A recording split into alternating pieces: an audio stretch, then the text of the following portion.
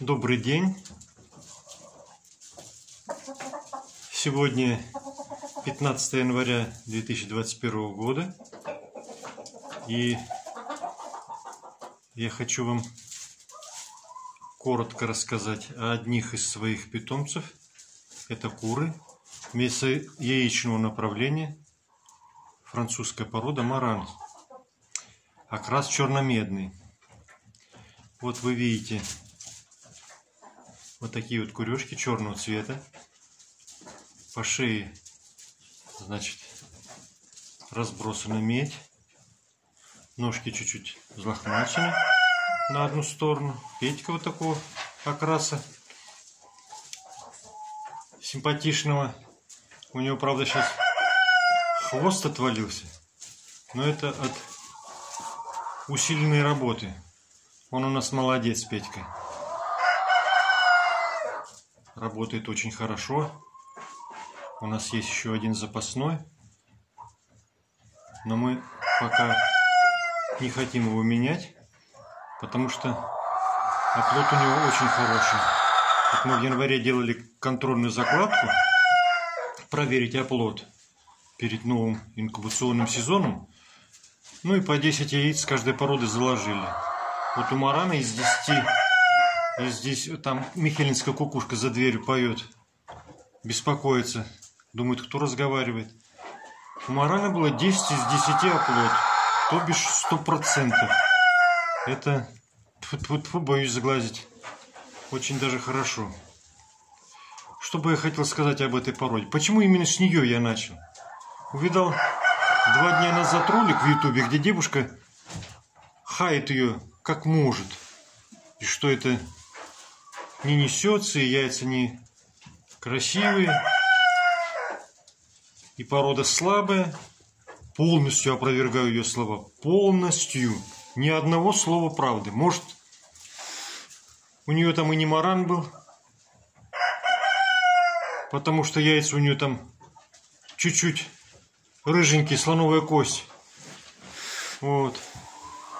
Птица крепкая.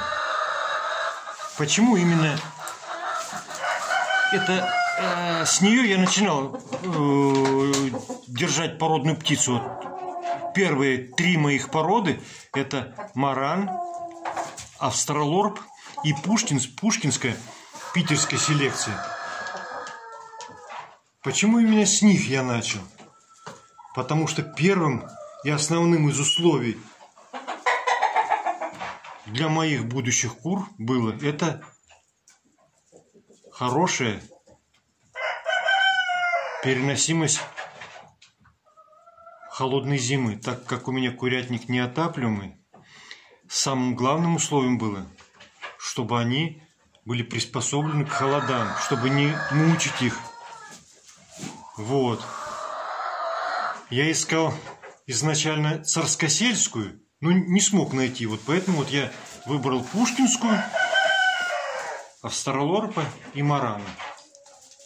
Привез я их из Подмосковья, под городом Зеленоград, есть деревня Майдарова, оттуда я завез эту птичку в Оренбурге. Ну, потом я обновлял кров, брал яйцо под Тверью у Александра Борисовича. Вот. Полностью ей доволен. Несется исправно. Причем зимой нисколько не сбавляет. Вот у меня 8 курочек и один петушок. В прошлом году было 7 курочек. Вот. 4 молотки, тут сейчас 4 прошлогодних, а 4 молотки этого года. И вот из этих 8 курочек у нас каждый день 5-6 яичек. Я считаю, на январь месяц, сейчас на улице минус 18, вот, 5-6 яичек в день зимой. Думаю, это очень даже неплохо. Если кто-то не согласен, пусть бросит мне камень. Вон там у нас еще, вот видите, присела маманька одна. Выдаст сейчас там нам яичко, мы посмотрим, какого цвета. Вот такие вот курехи. Вес где-то 3 килограмма.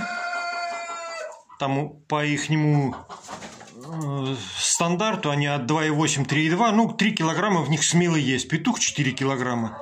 Вот. Яички у молодок где-то уже грамм под 60, а у птичек постарше и 75 грамм бывает, и под 80 бывает. То есть яйцо не мелкое, хорошее, красивое яйцо. Вот такие вот курехи. Вот. Непривередливые. Кормлю я их, как обычных, вот как всех остальных. Вот, вот как раз этот. Вот мешаю жмых, ячмень, пшеницу, вот сам дроблю. Вот такую вот хрень делаю. Ну, естественно, подбавляю ракушку и костную муку. Вот так вот. Вот ниппельная поилка моя, обрезанная канистра. Вода не замерзает. Три раза в день наливаю теплую воду. И вот, ну,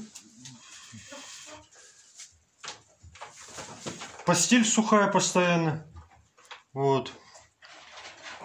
Свет включаю в 7 утра, выключаю в 10. Вот такой вот у меня световой день. Это для всех пород. Поэтому, если кто-то на раздумии, заводить такую птичку или не заводить, я бы... Это дело, конечно, каждого, но я рекомендовал бы за 6 лет, седьмой год мы ее держим, никаких нареканий. Никаких нареканий. И вид неплохой, и несется неплохо, и яйцо прикольное такое. Это для ленивых жен. Вот у кого ленивые жены, покупайте эту курицу. Будет она вас любить за то, что ей на Пасху не надо будет красить яйца. Вот. Спасибо всем за просмотр. Всем доброго здоровья. До новых встреч. Все, пока-пока.